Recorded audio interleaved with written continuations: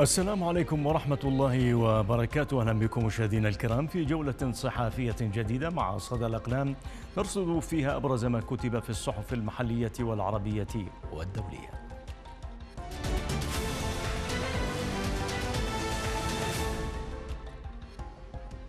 نبدأ مشاهدينا من مقال الكاتب عون القلمشي في مجلة الجاردينية بعنوان مأسسة الفساد في العراق. قال فيه الكاتب لا يختلف اثنان على السياسات المعتمدة التي تبعتها الحكومات المتعاقبة بعد الاحتلال الأمريكي لتدمير الاقتصاد العراقي جزءا من مخطط تدمير العراق دولة ومجتمعا ولا سيما في مجالي الإنتاج الصناعي والزراعي.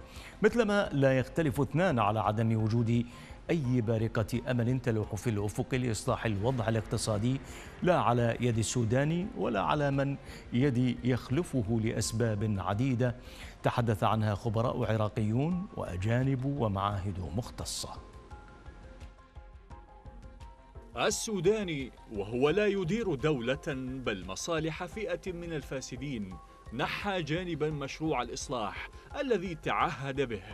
ليقتصر عمله على استعراض سياسي أجوف والقيام بجولات تفتيشية لهذه الوزارة أو تلك أو القيام بزيارة عدد من المحافظات وزيارات خارجية لبعض الدول العربية والأجنبية والتي لم ينتج عنها سوى تصريحات ملتوية أو عقد تفاهمات مع هذه الدولة أو تلك حول مشاريع غير محددة أو تفاهمات لا معنى لها.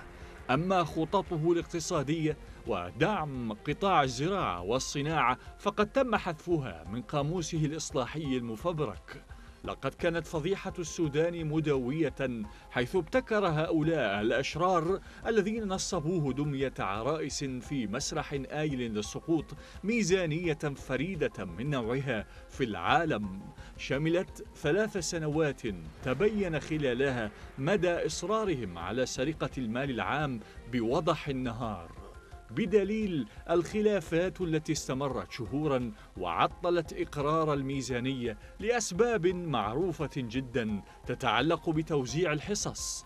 وعلى الرغم من مرور أكثر من شهرين تماما على إقرارها فإن السودان لم يتمكن حتى يومنا الحاضر من إطلاق سراح الأموال المخصصة في الموازنة للوزارات ومجالس المحافظات والمؤسسات الأخرى. بسبب إجراء بعض التعديلات لتجنب الفضيحة. هل اقترب العراق من درجة الغليان؟ هذا عنوان مقال للكاتب أحمد صبري في صحيفة الميثاق الوطني. ذكر فيه الكاتب أن أزمة الكهرباء تلد أزمات تنغص حياة العراقيين. فقد تحول مجال الكهرباء إلى محنة متوالية. من فرط استشراء الفساد وتغوله في هذا المجال الذي بقي عصيا على من يحاول المس بحيتان اللصوص وسراق المال العام الذين حولوا العراق إلى ظلام يتوالى سنويا وينغص حياتهم. ما يعانيه العراقيون من لهيب الصيف وارتفاع مناسيب الدخول في غليان مراجل تلك الدرجة التي يقترب منها العراق فإن الانطباع السائد أن حكومات الاحتلال حولت قطاع الكهرباء إلى سلعة وأداة للمساومة والابتزاز والمنافع أدت إلى بقاء هذا القطاع عاجزا عن الإصلاح رغم ملايين الدولارات التي لم تسعد العراقيين في مواجهة لهيب الصيف وحرارته المتوالية الصعود العددية التي يدور في فضائها العراق.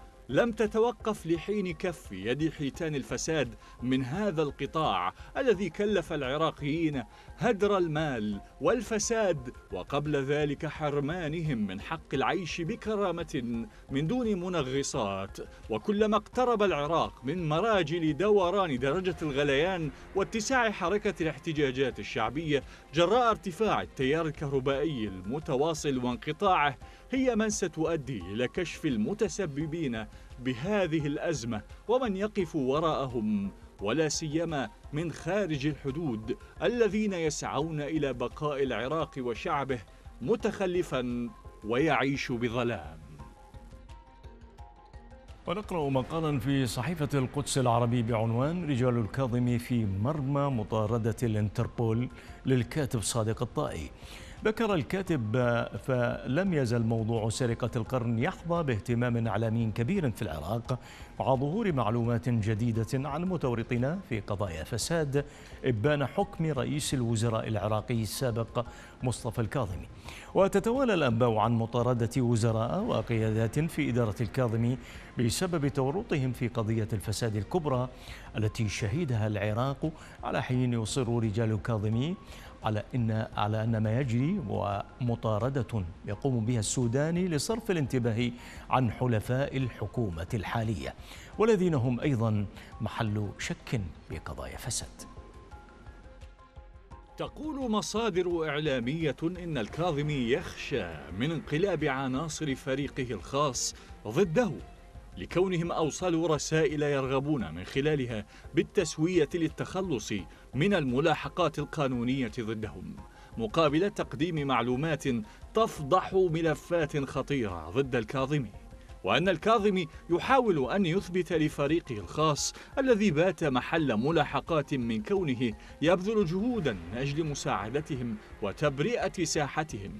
وأيضا يحاول إرسال رسائل ابتزاز لأصدقائه القدامى من الطبقة السياسية من أجل غلق الملفات المفتوحة ضده مقابل الا يقوم هو بفضح تورطهم معه في قضايا فساد خطيره كان قد سبق الضجة الأخيرة بحق الكاظمي ورموز إدارته سقوط أحد أصلب رجال الكاظمي الفريق أول أحمد أبو رغيف وكيل وزارة الداخلية. إذ كشفت صحيفة واشنطن بوست من خلال تحقيق صحفي مطول أكدت أن لجنة أبو رغيف استخدمت التعذيب والتحرش الجنسي بالمعتقلين المتهمين من قبلها للحصول على اعترافات معدة مسبقا بالإكراه.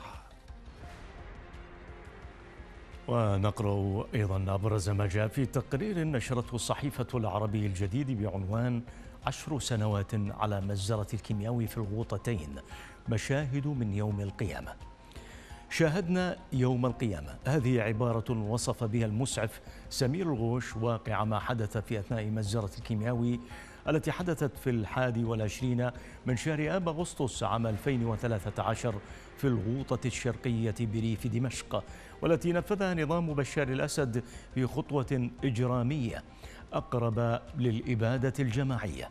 وأضاف التقرير أن الهجوم هو أضخم هجوم عرفه العالم بالأسلحة الكيميائية بعد اعتماد اتفاقية حظر الأسلحة الكيميائية وقد مثل صدمة للإنسانية والحضارة.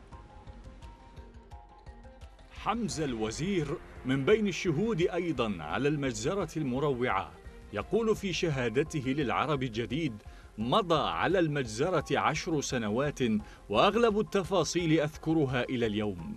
أيقظني أهلي في ذلك اليوم وأخبروني أن النظام استهدف المنطقة بالسلاح الكيميائي.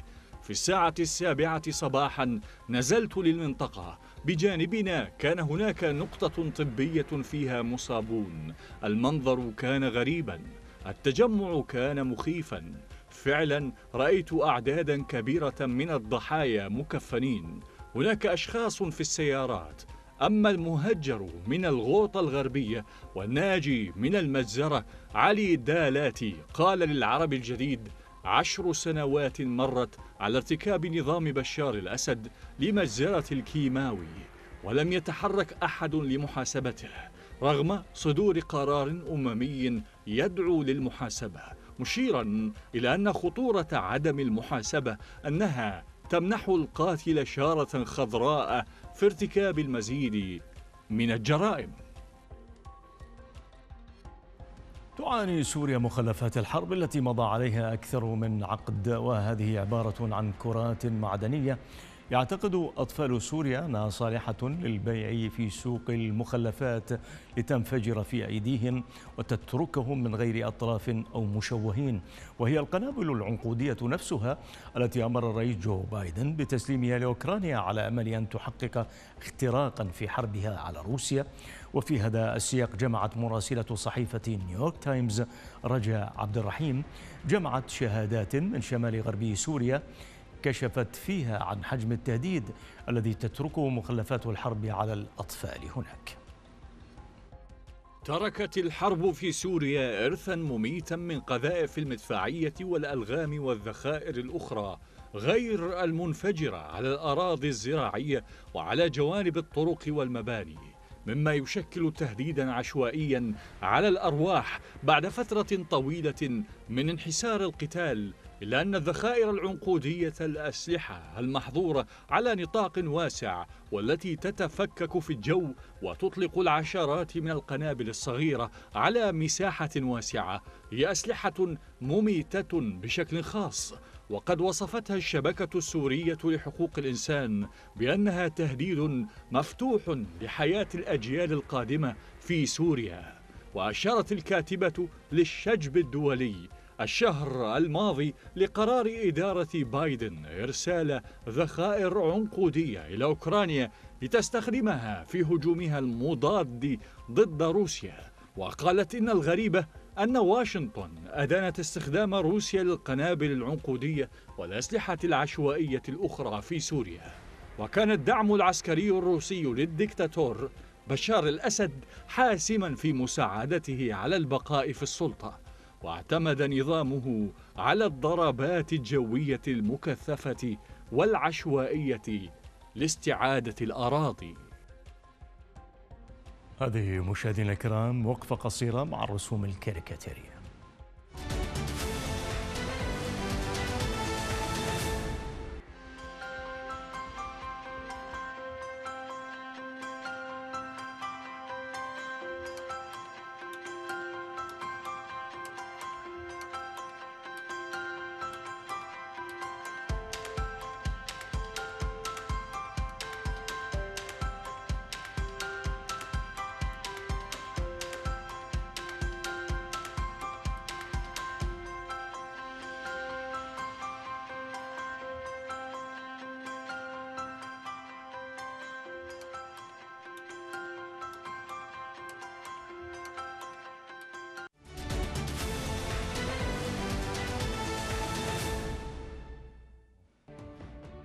بلا جدران تقيهم حر الصيف وبرد الشتاء. أخرجوا من ديارهم.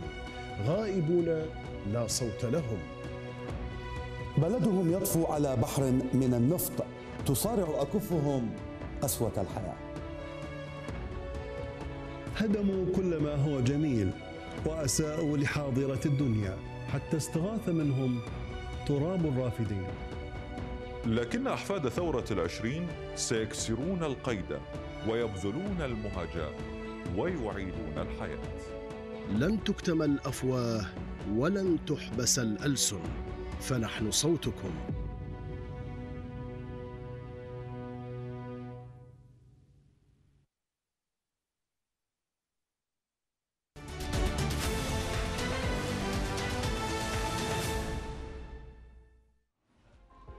إلى تداعيات الاحتباس الحراري وتغير المناخ فقد أسفرت حرائق الغابات المدمرة التي اجتاحت جزر هاواي أسفرت عن مصرع أكثر من 110 أشخاص وعن عشرات المصابين والمفقودين.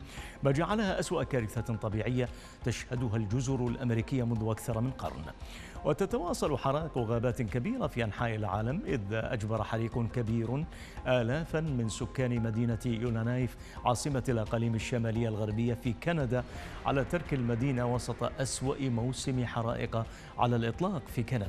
أما في المغرب فقد أعلن مسؤول حكومي سيطرته على حريق غابة مغراوة بإقليم تازا بالشرق وذلك بعد ستة أيام من جهود إطفاء مكثفة بعد أن اجتاح الحريق 790 هكتارا من الغابات. كذلك الأمر في إندونيسيا فقد قاوم عشرات من رجال الإطفاء حريقا في جزيرة سومطرة وكان يتزايد الحريق يتزايد حجمه مهددا منطقة سكنية مكتظة.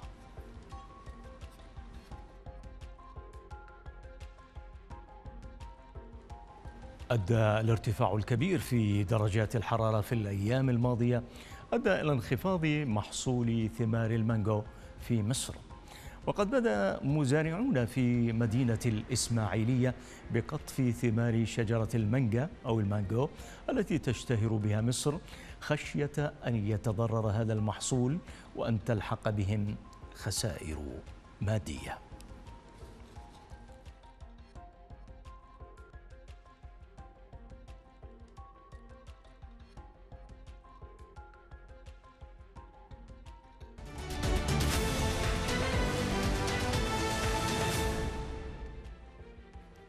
قبل الختام مشاهدينا فلنتابع معا مقطع المصور الذي اخترناه لكم من مواقع الصحف.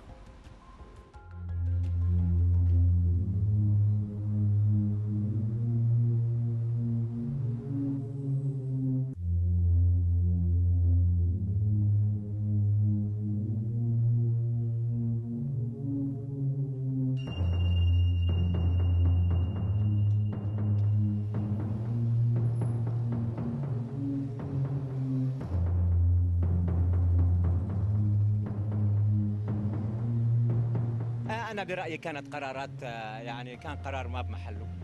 يعني زيادة الراتب شيء جيد يعني وكانت ضرورية يعني. رغم أنه لا تكفي حتى المية بالمية بالنسبة للأسعار العالمية لا تكفي. ولكن رفع الدعم عن المحروقات المفروض يكونوا بيعرفوا أنه رفع الدعم عن المحروقات سيؤدي إلى رفع آه، يعني جميع السلع. نسبة ارتفاع الأسعار تعادل 175% ورفع آه، رفع الرواتب 100% يعني نحن خسرانين 75%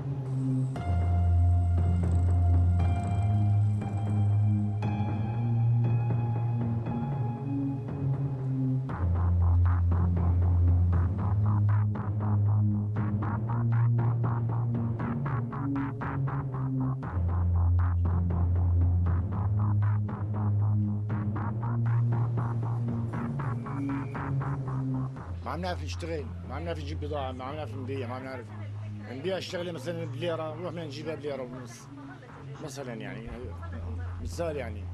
هيك عم نلاقي طلع الدكان كله فاضي. لا عم نبيع فيه عم ناكل فيه.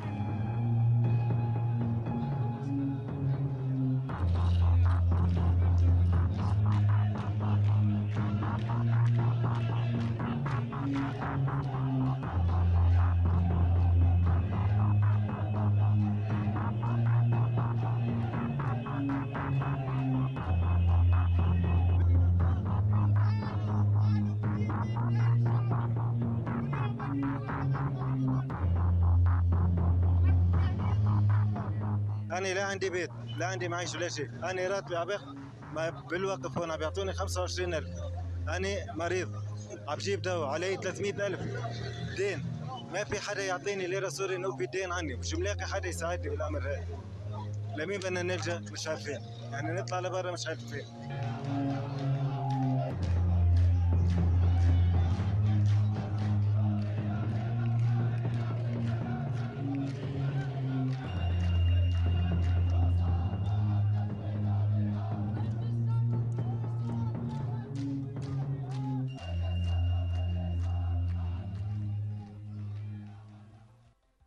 بهذا مشاهدينا الكرام تنتهي جولتنا الصحفية في صدى الأقلام من الرافدين لهذا اليوم. تقبلوا تحياتنا والسلام عليكم ورحمة الله وبركاته.